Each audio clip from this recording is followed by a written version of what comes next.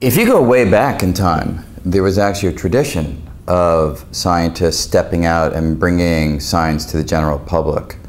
So in England in the 19th century, crowds of people would come to hear physicists talk about the latest research in electricity and magnetism and things of that sort.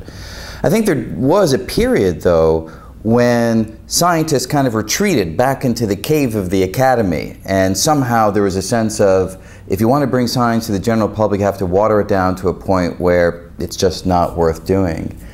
And there's been a massive tide change where scientists have realized that you can talk about real science, the real ideas. You have to make it accessible, you have to translate it into ordinary language, but people are hungry to know what's happening. And once scientists realize that, they become enormously excited about the possibility of not only talking to five other people, yeah. but talking to the world.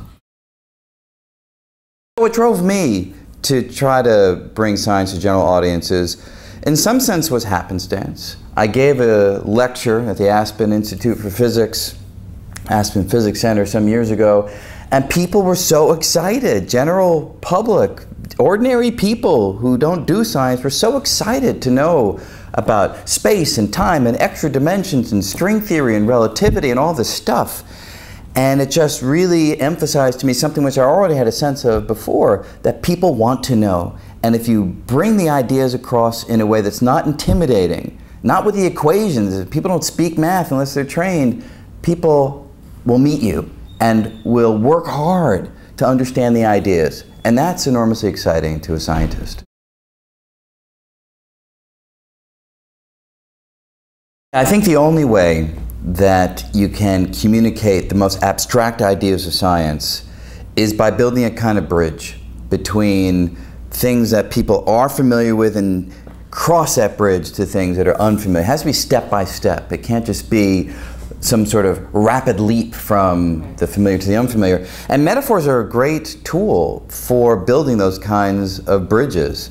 So I've dealt with thousands of them in the course of writing books. You know, quantum mechanics. I love to invoke a metaphor that involves currency, money, because money comes in discrete chunks, nickels, dimes, quarters, and so does energy in quantum systems. And using money as a metaphor, I think, helps people grasp an idea which otherwise can be really opaque and strange. You know, ideas of extra dimensions, which we use all the time. There, I don't precisely call it a metaphor, but rather using lower dimensional examples that you can picture. So we deal with things in you know 10, 11 dimensions. Who can picture that kind of stuff? But we can all picture one dimension and two dimensions, three dimensions, and take any real ideas of, say, string theory and looking at lower dimensional versions of them where you can draw pictures and you can actually describe them, that is an enormously powerful tool for communicating the ideas. Yeah, when we do the television shows, we begin by sitting around a, a table not once, but for, you know, many, many hours, where we'll go through the ideas that we'd like to cover. And it's my charge in those meetings to, number one, get the producers to understand the ideas. If they're not understanding the ideas, then we're sunk. Right. And they're really smart people and they've read the books and I just sort of try to help them the final step to fully grasp what we're talking about. And then we try to describe the visuals because now we have the power of moving images. You don't have those in an ordinary book, and now in ebooks you do. We're just beginning to do that. And the choices that we make are in some sense guided by what is going to be the most powerful visual, what are going to be the ideas that we can describe now using the visual landscape that would be very difficult to do in words or in a book. We want to do something that really leverages the medium. We're not working on uh, a television program per se, but we are working on a massive video project, which is we're creating a new kind of digital course for people who may watch a NOVA program but want to go deeper, for the high school kid that wants to soar ahead and doesn't have the resources nearby. There's a great movement afoot to bring education to the digital space But so far, I haven't seen anybody really make use of the digital space in a way that leverages all its capacity. So we're taking the first steps in that direction. We're beginning our international expansion with World Science Festival Amsterdam in Amsterdam, largely because the folks in Amsterdam came to us and said, we really want to do this. We're going to find the resources to make it happen, but we need your expertise in program and content creation in order that we can have offerings that are on par with the kinds of things that are available in New York. So we're excited to embark on this first step of international expansion where programs that we spend a lot of time developing in New York can reach a different audience. Quantum mechanics forces us to rethink everything that our intuition, everything that our experience tells us is true about the world. Right? You look around the world, what are the basic ingredients that describe reality? You say where things are and how they're moving. That's it. Every physical process can be broken down into like I'm moving my hands. Where are they? How are they moving? Right? I'm blinking my eyes. Where are my eyelids? How are they moving? Everything can be placed in that language. Quantum theory says that that's a wrong language. It tells you you can't actually specify where something is and how fast it's moving. Heisenberg's uncertainty principle says that data is actually inaccessible. It's not real. It's not part of the real description of the world. And that means that we have to completely change our intuition about how reality evolves. String theory, there, there, are two key things. One, it's an attempt at a unified theory, which is what Einstein was searching for for the last 30 years of his life. We want to have one framework that describes the physics of big things, small things, everything in between. That's the goal of string theory. Now, in terms of what string theory says, it says that at the heart of matter is a new kind of ingredient. So we know about molecules and atoms. We know atoms have electrons going around the nucleus with neutrons and protons, or quarks inside the neutrons and protons. That's where the conventional ideas stop. String theory says that there's another layer that so far we've missed. Inside those particles is something else, a little tiny string-like filament. That's why it's called string theory. A string-like filament of energy that vibrates in different patterns. And when that string vibrates one way, it may be a quark. Vibrates in a different pattern, it would be an electron. So everything is unified, if you will, under this rubric of vibrating strings. That's the basic idea of the theory. It's speculative. We've never seen these strings. We don't have any evidence that they are there, but the mathematics points to this as a possibility that we take very seriously.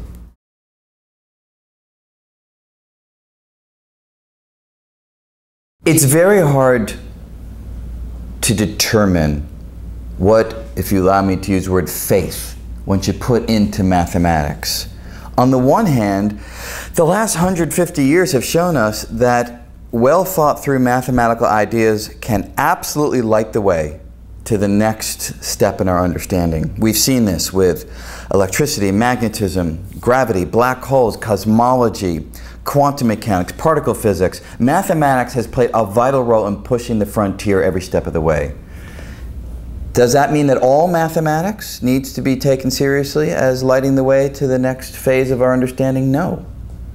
How do you pick which math is the right math? How do you pitch, pick which math you should put your faith in, in that sense? And that almost comes down to an aesthetic judgment. My feeling, based on years of working with the math of string theory, is that I'd be pretty shocked if the universe doesn't make use of some or all of these ideas. But that's just a feeling, and feelings don't amount to anything in the end of the day. It's data, it's evidence. So we hope to one day have evidence that tells us whether these ideas are right or wrong. The Higgs discovery is a big one for a number of reasons. Number one, it settles, it answers a question that has been on the table for a long time, which is where does the mass, where does the heft of particles come from, right? What, what do we mean by mass? When you push on something, it resists your push. That's its mass, resisting your push. If you push on little tiny particles like electrons and quarks, they would resist the push too. But why? Where does that resistance come from? And the idea put forward by Peter Higgs many years ago is this. He says, look, there's an invisible stuff Now we call it the Higgs field. He didn't call it that. But there's this invisible stuff filling space. And when particles try to push through the stuff, there's kind of a friction like resistance that they experience. And that's why they exhibit the heft, the mass that we measure in our laboratory experiments. Now that's a far out idea. An invisible stuff filling space, huh? Right? I mean, it sounds nutty. And at first glance, people responded by saying it's nutty. But then they looked at it, the math, and they said, wow, this makes sense. But that's not enough. You need the evidence. And it took 40 some odd years before these experiments at the Large Hadron Collider, slamming protons against protons, could jiggle this invisible something, the Higgs field, flick off a little speck, which we call the Higgs particle, that registers in our detectors. Part of the reason why it's difficult, it's a challenge to find the Higgs particle is that it is a fleeting particle. It has a very short lifetime before it disintegrates into other particles. The other reason why it's very hard to find the Higgs particle is it is produced within a sea of other particles that are also produced in these collisions. So you really are looking for the proverbial pin in a haystack. It's this one little particle that's produced in this maelstrom of other more ordinary particles. So trying to tease through the data and see, ah, there it is, is tough. And that's why it took some very careful planning and some very powerful detectors and some very smart people right. to finish the job. It's very hard to appreciate the details of mathematics without actually doing mathematics. It's very similar. You know, if I brought you the most beautiful poem in Sanskrit, you might appreciate the symbols on the page, but you wouldn't really be able to appreciate the poem. And it's the same thing with math. It's just a language. It's squiggles on a page. And if you don't speak the language, it's very hard to appreciate what those squiggles are really telling you. Thing to bear in mind is you can learn math. And you don't have to learn a lot of math to appreciate its wonder. Even some of the most basic things in, in number theory that I could teach, I think, with some confidence to a high school kid are so impressive in the way that the pieces lock together like the most wondrous jigsaw puzzle, or really the most wondrous poem, that I think most people can get that experience if they want it. I try to talk to my kids about particles and strings and all this stuff, but uh, they really like baseball.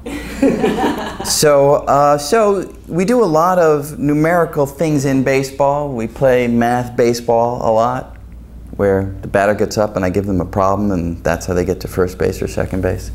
But you know, I think the most important thing is give kids the opportunity, but don't push them. You push them, then they resist, sort of like the Higgs field. and um, you want kids to come to these ideas, and if you make them sufficiently exciting, they will come on their own terms, in their own time. And I think that's the most powerful way for kids to engage science. I don't know, I, I frame it as a gift, but I would say there was an experience, frankly, a long time ago in high school, where uh, we had a course that, strangely enough, was called Hygiene of all weird names where they taught you how to put a tourniquet on and they taught you how to do CPR and things of that sort. Pretty useful stuff. But not enough to fill a whole semester. So they'd make the kids teach half the semester. And you had to pick your own topic, and I picked dreams, the neuroscience of dreaming.